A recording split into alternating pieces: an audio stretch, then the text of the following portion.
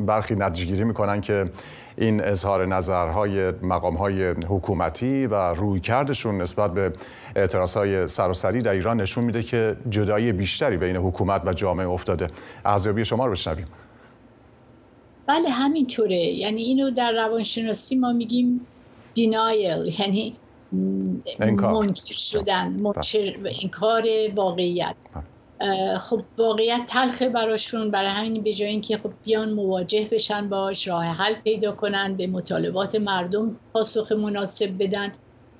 منکر میشن و بی می‌کنن و خشم این باعث میشه که جوانان بیشتر احساس ندیده شدن و احساس بی و جدایی از حکومت بکنن. اصلا راهش این نیست.